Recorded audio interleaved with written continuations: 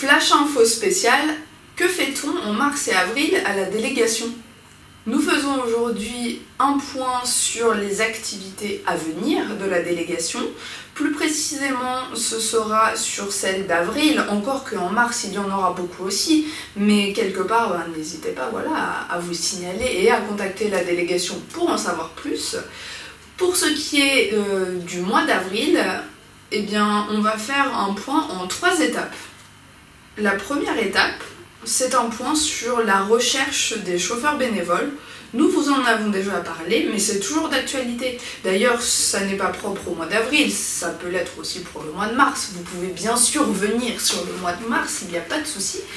Mais c'est important de le rappeler pour dire que c'est toujours d'actualité parce que la recherche de chauffeurs bénévoles ne s'arrêtera pas quelque part euh, puisque la délégation en a toujours besoin et surtout en ce moment on se rend bien compte que nous avons de plus en plus d'activités qui est très bien, c'est très dynamique, mais voilà, il faut de la logistique autour.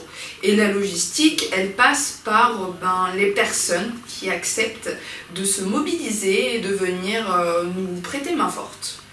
Donc, nous cherchons toujours des chauffeurs bénévoles pour pouvoir continuer de proposer des ateliers, de transporter les personnes, mais aussi voilà, de, participer à des actions via la, logistique justement, donc euh, la mise en place de, de différents euh, stands par exemple.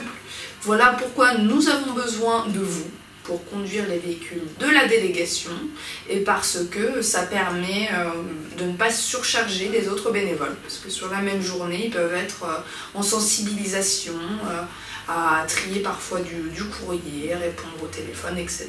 Donc on peut être sur plein de missions.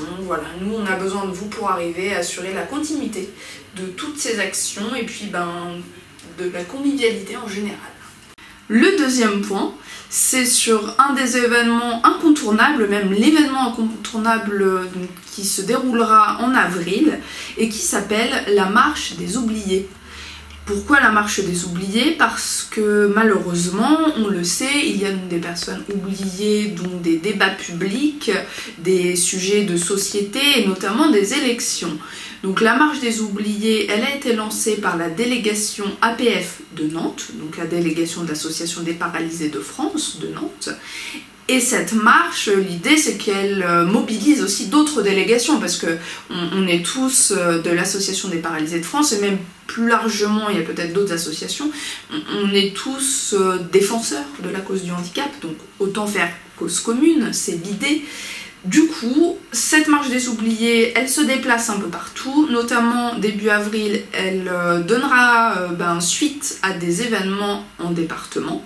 Et c'est pourquoi nous vous en parlons dès à présent, puisque votre délégation APF de Chartres, ainsi que les structures, hein, c'est pas propre à la, délégation, à la vie associative, mais voilà, nous allons nous joindre à cette euh, opération la marche des oubliés va donc rassembler différentes personnes. Le but c'est de faire quelque chose de militant mais toujours dans la bonne humeur, euh, en portant nos revendications mais euh, de façon pédagogique, de façon festive et euh, dans une idée d'entraide. C'est pour ça que nous vous appelons tout de suite à venir participer. On vous refera un point plus complet mais dès à présent quelques dates clés à noter si vous le voulez bien. Alors euh, que je ne vous dise pas de bêtises, puisqu'il y en a déjà beaucoup qui s'annoncent. Le 3 avril, le 3 avril, nous avons décidé de faire un repas, quelque chose de, genre un repas solidaire en fait avec les acteurs euh, de cette marche des oubliés. Donc ce sera le 3 avril dans le secteur de Auton du Perche, puisque tout ne se passera pas uniquement sur Chartres. Le lieu reste à définir, mais euh, le repas sera bien organisé. Ça, vous pouvez d'ores et déjà le noter. Le 6 avril, autre événement, donc ça ce sera le matin à Mainvilliers il y aura une euh, signature de pétition et des discussions euh, enclenchées sur le marché de Mainvilliers le matin. Vous pouvez euh, vous y rendre si vous êtes partant. Et pourquoi Mainvilliers? Parce que on a envie d'aller aussi sur l'agglomération et encore une fois de ne pas rester sur le, le, centre entre guillemets, la ville centrale qui est Chartres. Donc ça c'est le 6. Et enfin le 7 avril, toujours dans le cadre, hein, bien sûr, de la marche des, oubliés, cette marche citoyenne incontournable, nous organisons une visite de la cathédrale de Chartres, puisque c'est euh, un des éléments euh, c'est pas inoubliable le mot, mais incontournable également, oui, si on veut, incontournable de la région. Donc c'est bien euh, de le faire découvrir pardon, à nos collègues APF d'autres euh, départements et régions. Donc ça c'est le 7 avril, toujours euh, le matin, et vous pouvez nous y rejoindre à la cathédrale. Prévenez-nous, il n'y a pas de souci, on serait très heureux d'être plusieurs pour faire quelque chose sur le thème du finalement, voilà, de la découverte du patrimoine, sur une action touristique. Donc voilà, le 3 avril, le 6 avril et le 7 avril, ça fait déjà trois dates clés. A bientôt, on espère vous voir sur ces dates. Le troisième point et le dernier de cette vidéo Que fait-on en mars et avril à la délégation?